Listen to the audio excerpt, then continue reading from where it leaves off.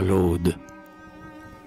Source ineffable de lumière, herbe en qui l'éternel contemple sa beauté, astre dont le soleil n'est que l'ombre grossière, sacré jour dont le jour emprunte sa clarté. Lève-toi, soleil adorable, qui de l'éternité ne fait qu'un heureux jour. Fais briller à nos yeux ta clarté secourable, et répand dans nos cœurs le feu de ton amour.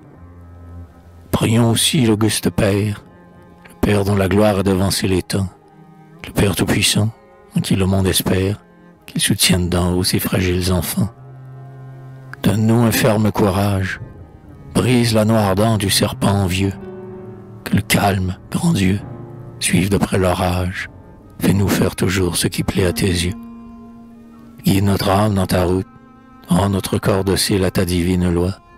Remplis-nous d'un espoir que n'ébranle aucun doute que jamais l'erreur n'altère notre foi.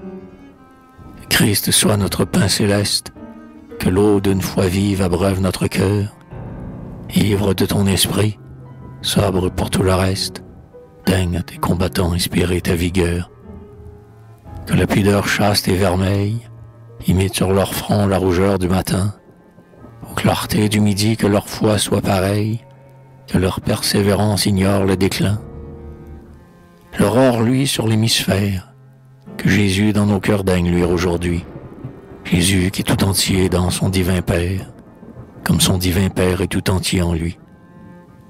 Gloire à toi, Trinité profonde, Père, Fils, Esprit Saint, qu'on t'adore toujours, tant que l'astre des temps éclairera le monde, et quand les siècles mêmes auront fini leur cours.